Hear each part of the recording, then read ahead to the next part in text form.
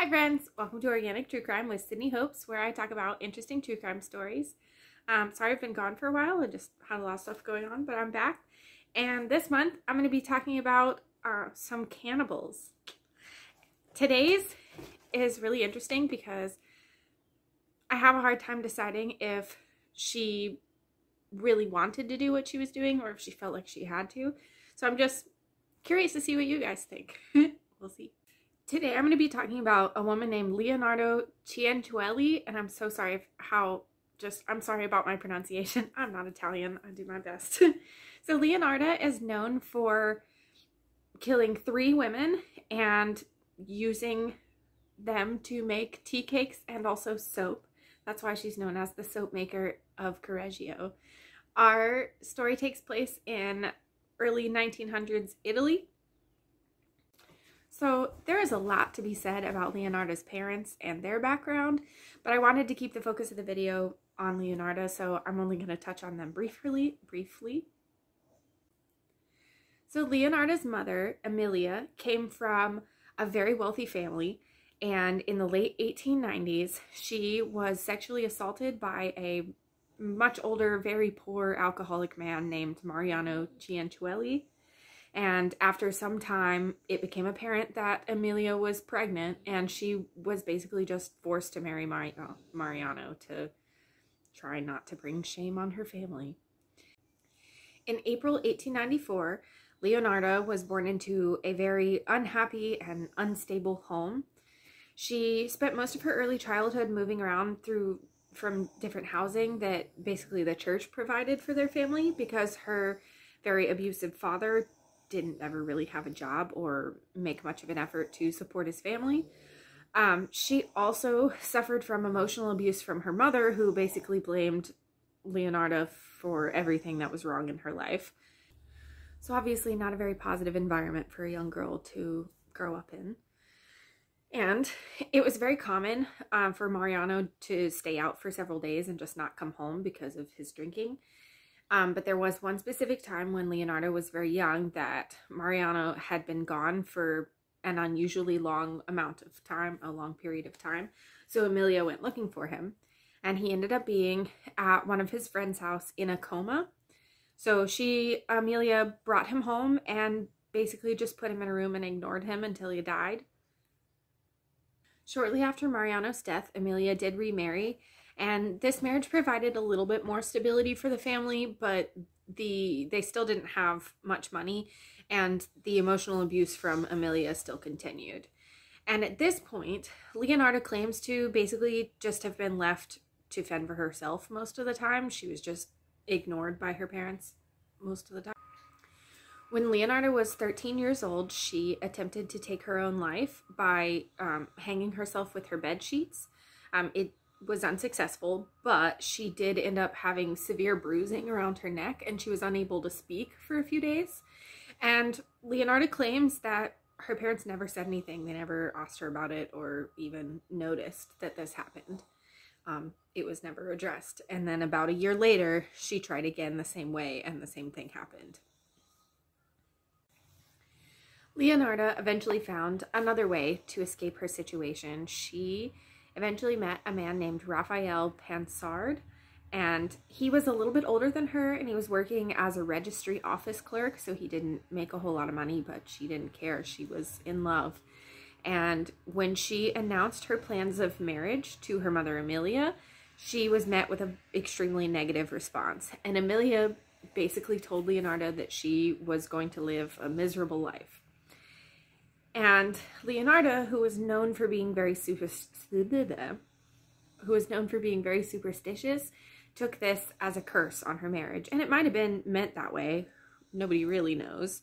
Um, but Leonardo took it to heart and felt that her mother had cursed her marriage. What she didn't know was that Amelia was so upset because she had plans for Leonardo, plans that she never informed Leonardo of because why would she? Um, basically, Amelia was looking for a wealthy husband for Leonardo so that they could move up the social ladder and she could get closer to what she once had. But she never told Leonardo about it because it didn't actually have anything to do with her. So, surprise, surprise, she found someone else and got married and was happy. So, in her early 20s, Leonarda married Raphael Pansard and she never spoke to her mother again. And she really didn't worry about the curse too much until the couple started trying to have children. And this is when she started turning all the blame onto her mother's curse. So, throughout their marriage, leonardo became pregnant 17 times. Three of these ended in miscarriages. Seven of these children died before the age of three, and three of them, three more of them died before becoming adults. So, out of 17 pregnancies, the couple ended up with four children. Leonarda became extremely protective of her four children, understandably so. Um, she had always been known for having high anxiety, which sometimes led to seizures, and this just got worse with the constant worry for her children's lives. She also believed in palm reading and fortune tellers and visited them as often as she could. It was usually through traveling groups. Um, but at one point, she was told by a fortune teller that she would outlive all of her children, and that did not help with her paranoia and her anxiety. So she basically never let her children out of her sight ever. They didn't go anywhere. In the mid 1920s, the family was struggling financially and they really needed Leonardo to have a job. Um, so, to work around her need to constantly supervise her children, Raphael found Leonardo a job cleaning a bank at night. So, she would put the kids to bed and then go and work while Raphael was home with them. And it was going pretty well until Leonardo decided to use her job to steal money from the bank. She basically gained access somehow to the bank's ledger and created an account under her name with a large amount of money in it, and then came back during the day and tried to take some out. Um, it didn't work. They were immediately suspicious, and she was pretty quickly arrested. In 1927, Leonardo was convicted of fraud and sentenced to a year and a half of jail, but they didn't really have a whole lot of jail available for women at the time. I guess Italy didn't have a lot of female criminals in the 1920s. So she was actually sent to a nunnery for 18 months to serve out her sentence. After Leonardo's release, she her interest in palm readings and fortune telling became an obsession, and she actually ended up learning how to read palms. Um, but their family also had to move because they weren't trusted anymore and people kind of shamed them. And I'm pretty sure her husband also lost his job when she was caught. So the family had to move. So in 1930, Leonarda and her family and most of the village that they were living in were all participating in the harvest. Um, which basically meant everybody in the village was harvesting the fields and then they would all sleep out in the fields and then wake up and continue which was very lucky because in 1930, the Irpinia earthquake struck. Um, it was a 6.6 on the Richter scale and was um, classified as being very destructive. Um, their entire village was completely destroyed. So luckily there were a lot less deaths than there normally would be from an earthquake this large because most of the village was out in the fields and not in the town where it mainly struck. But after this, their family had no home. They had nowhere to live and they had to move again and find somewhere new to live. And as uh, refugees from this earthquake, they were able to find housing in Correggio. Um, they lived in, it was basically had like a shop front, but also a living quarters. And that's where um, and her family moved. Raphael was able to find a job in this town and uh, Leonarda actually opened a soap shop in the little storefront that they had connected to their home, and it did really well. They really, she really made a name for herself, and the family found some stability that they had been looking for. And eventually, the women that visited Leonardo's soap shop also started visiting her for advice and basically fortune telling, because, like I said, she had learned to read palms. Um, and during this time, Leonardo was still seeking out palm readers and fortune tellers, and somewhere in this time, a palm reader told her that in one hand she saw a criminal asylum and then the other prison. So, really great to hear from your fortune teller, right? Okay, now we're going to talk about Leonardo's oldest son, Giuseppe, for a second. Giuseppe was her first child to that she carried all the way through pregnancy and that survived all the way to adulthood. He was her favorite and very, very special to her. So she again was known for being very overprotective of her children, but especially so when it came to Giuseppe. He was her everything. And in 1939, he decided to join the Italian army, which was at the time preparing for World War II. And that obviously terrified his mother. Again, kind of understandably so. So she felt that she needed to do everything that she could in order to protect her son who was going off to war. Leonarda did try to see if there was a way to get her son out of joining, but that was not really an option. So her next choice, which she found through her studies and her personally personal beliefs, she felt her next option was to perform a human sacrifice, basically a life for a life, to protect her son. And she had until November of 1940 when he would be leaving. And she felt um, that she needed to protect him both inside and out. So she needed to not only perform a human sacrifice, but then use them to create food to feed her son and soap to wash his exterior with. And she knew that she had women coming in and out of her shop constantly, and they came to her for advice and trusted her. So she knew she had options. Faustina Setti was one of these women who frequented the shop and often came just for advice from Leonardo. Now, Faustina was over the age of 40. I'm not exactly sure how old. Different sources say different ages, um, but definitely over 40 and had never been married, which at the time was kind of weird. And she was known around town as a spinster. Oh no. In late 1939, Faustina was told that Leonardo had found her a husband. He was a man that lived out of town, and Faustina would have to move um, without having met him first, but she was totally okay with that because, like I said, at that time it was really frowned upon for a woman of her age not to be married. Leonardo told her that she couldn't tell anyone um, that she was leaving, but she had her write some letters and postcards to her family explaining why she would have left to send afterwards. Not really sure how that made sense, but I guess it did because she did write these letters. And then she packed all her bags and she gathered all her life savings, getting ready to move in with her new husband. And she stopped by Leonardo's place to say goodbye. And this is when Leonardo offered her a cup of wine, and Faustina gladly accepted. Leonardo had drugged this wine, and after Faustina finished her cup, Leonardo killed her with an axe. I do think it's important to remember that Leonardo wasn't doing this out of hate or out of some fantasy that she needed to fit, fulfill. She was doing it because she, I, I believe, she truly thought that it was the only way that she could ensure her son's safety. And I guess she felt that her son was more important than other people and he deserved to be safe. I don't know. To him, I'm sure she was. He was. To her, to her, I'm sure he was. Jeez. Anyway, so when it came down to it, Leonardo couldn't even look at Faustina while she swung her axe, which led to a, for lack of a better word, very messy job.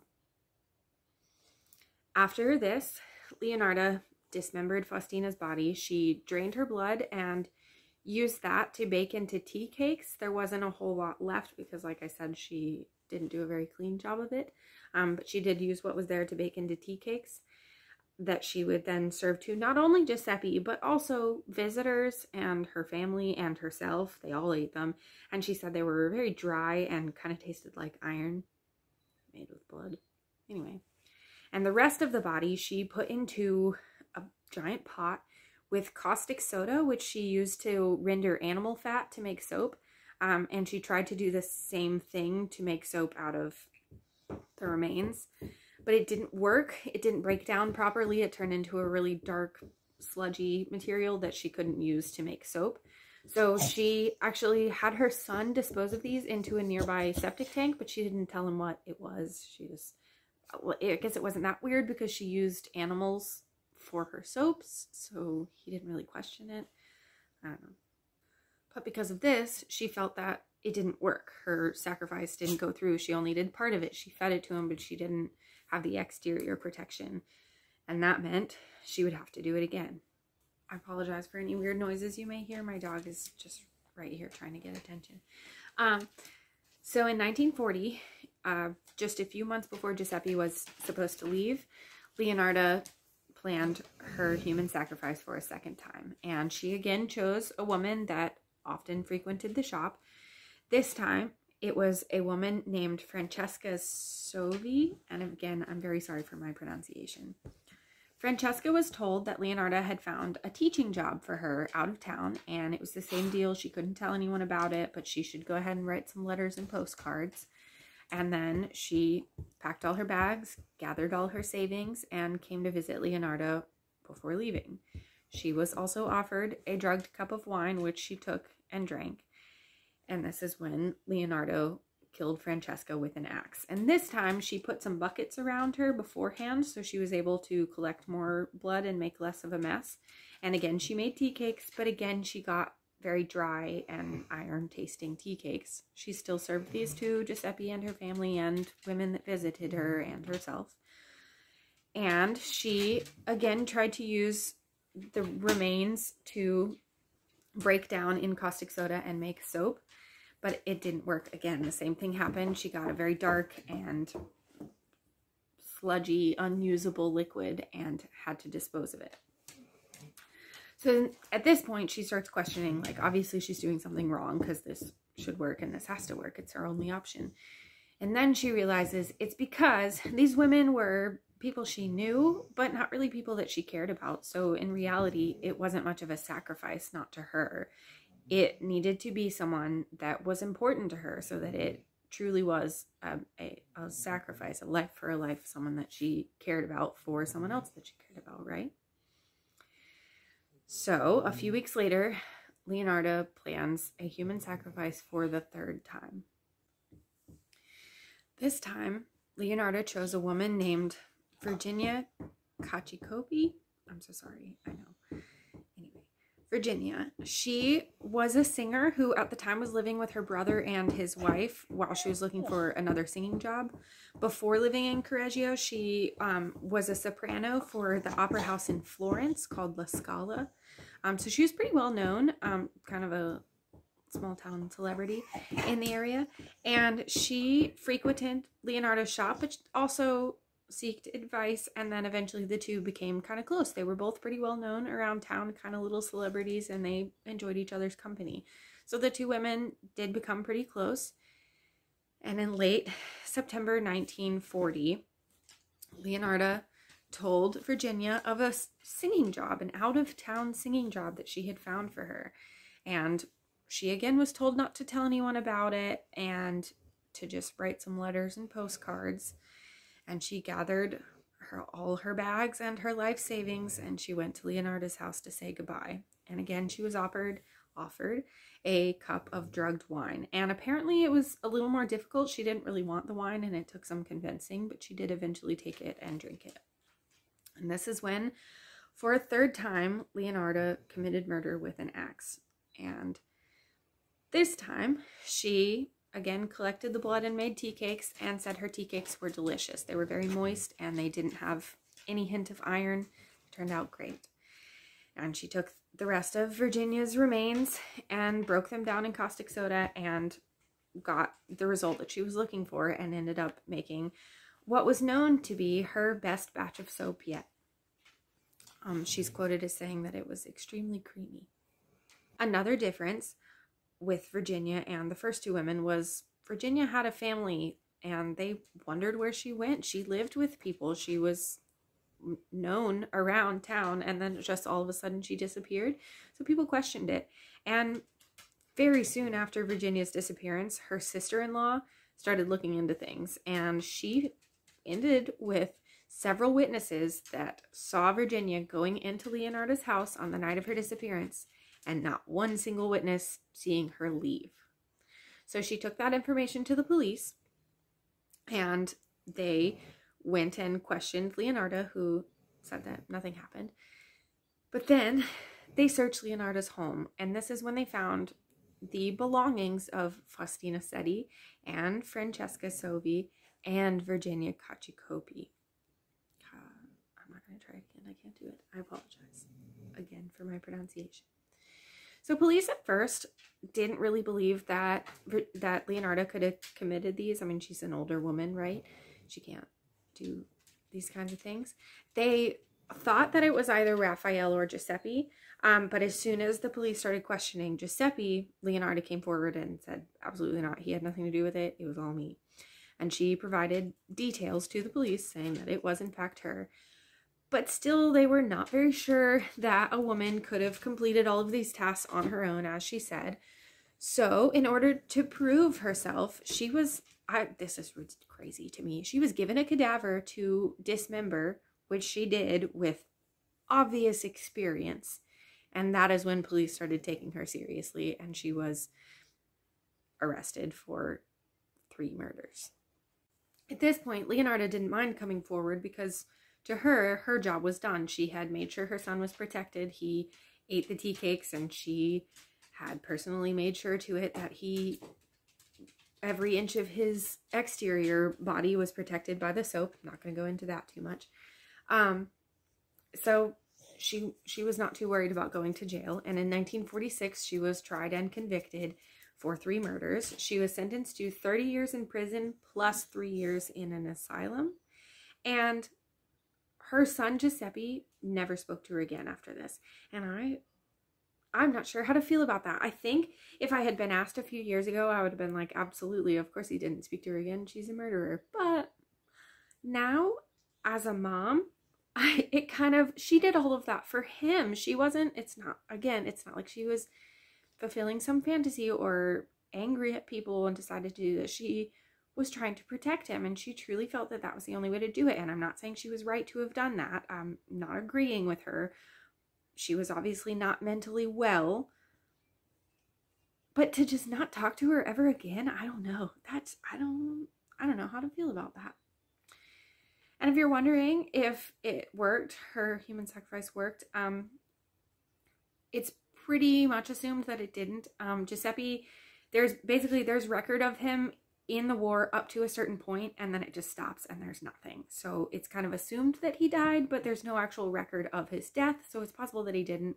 Um, her other three children did change their names and moved and continued on their lives as other people. So it's possible he did that. I'm just, I don't think it's very likely that mid war he was able to change his name, I don't know, maybe if you want to be hopeful, you can say that he did.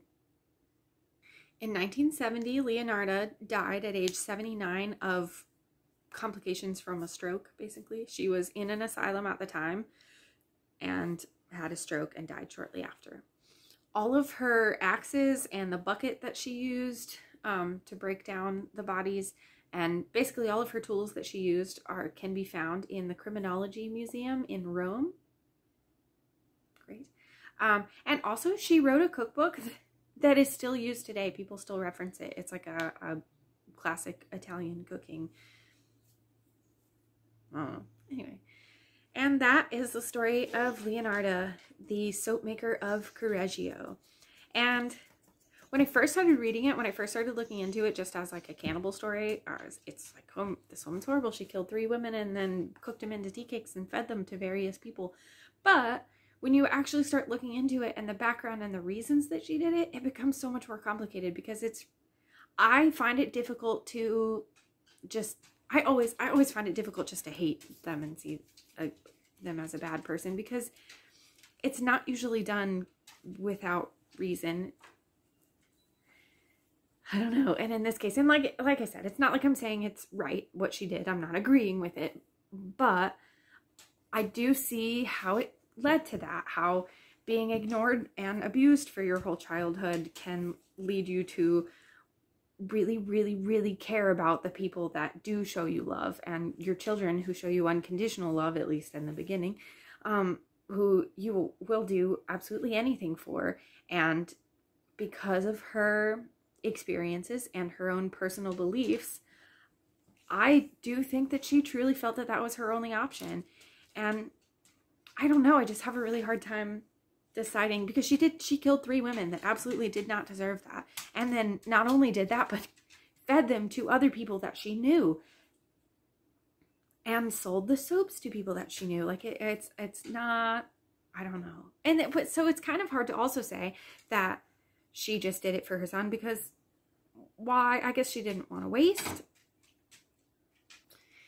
I don't know. Let me know what you guys think, and I'll see you again soon for more cannibal stories. My dog is climbing across me. Sorry. Bye. See you next time.